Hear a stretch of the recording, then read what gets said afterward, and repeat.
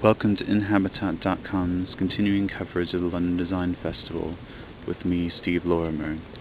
The Designer's Block is in a series of derelict buildings on Shoreditch High Street in London, yards away from corporate headquarters and finance activity of the City of London. Somehow, the power always gets turned on for the show, and DIY Kyoto found a way to measure it as it comes into their stand with the amazing Wattson device that you can tell you how much energy you are using and how much it is costing you.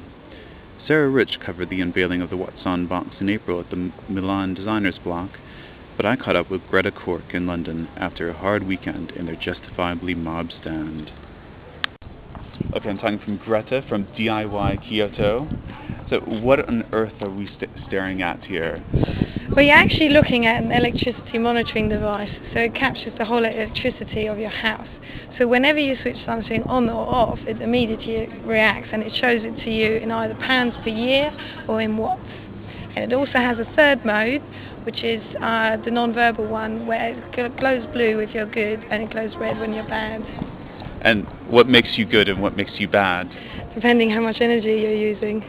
And and so if I if I take this thing here, it's reading about 72 per year, and what is it what is it running off of? A couple of light bulbs, a fan that's running that's Yeah. over here. But say if we turn on this microwave over here, Yeah. when what is what is it showing now? What is it saying now? It goes up to 2,000 watts in total now.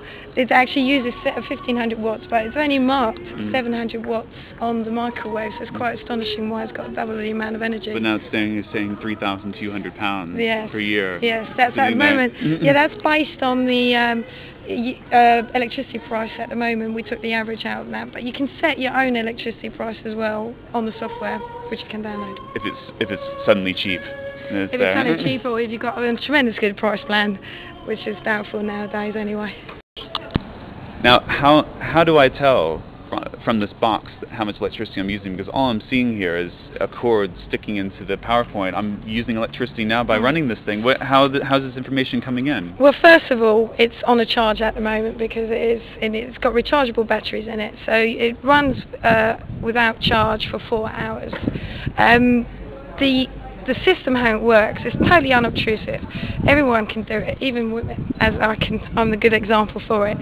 Basically, where you got your electricity meter at home, you got your input power, the tail, that big lead which is coming, which got all your electricity. We got like a clip you just clip it around the, the, the lead and that picks up the magnetic field basically of it and that we converted that information into the watts and into pounds and that sends it wirelessly to the front end. Now I can see you have one over over rubber cord that's sitting here. Does it matter? Rub, you know, lots of people have Totally. steel ones that are sitting there. Does it matter no which problem, one no problem whatsoever. And even we're just preparing for the American one, which she got three phase. So you just we, well, we got a way of how to do that as well. So it's exactly on the same system. And so tell us about the materials that you're ma- making this out of. Well, this is the handmade limited edition. There are only 250 available, and each one has got their own number and a certificate of authentication you're going to get. And uh, the wood is made out of old school benches, and uh, it's entirely set up in Bethnal Green.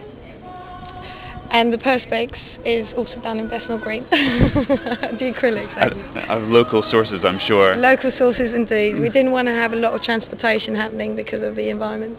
And so the manufacture that will be happening in a, in a mass-produced scale, how has that been arranged? Well, um, we basically launched a handmade one in Milan this year. Uh, we had a really high response to it and we actually found our investors through that, which was great. So we finally got money and um, so we straight went ahead and we are already now preparing the tooling now for the manufacture one. And finally, what on earth drove you to do this?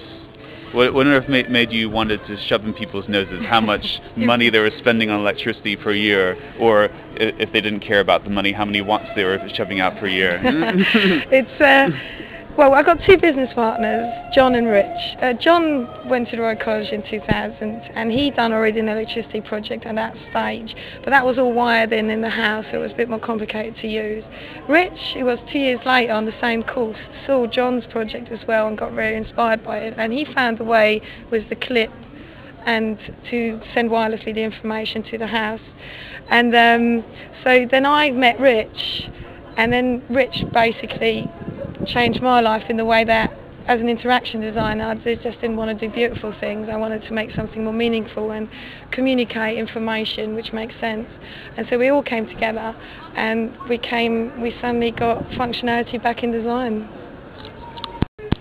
Okay, so I see one that's in pounds that you're using per year to run all the products, but what about euros? What about dollars? All the all those other countries that you might want to target? Well, we are actually uh, we can use it anywhere. Um, we are getting the euros are getting ready, and the definitely the dollars anyway. So um, it will be available for all the countries necessary. For more on the London Design Festival, please go to inhabitat.com. For now, I'm Steve Lorimer.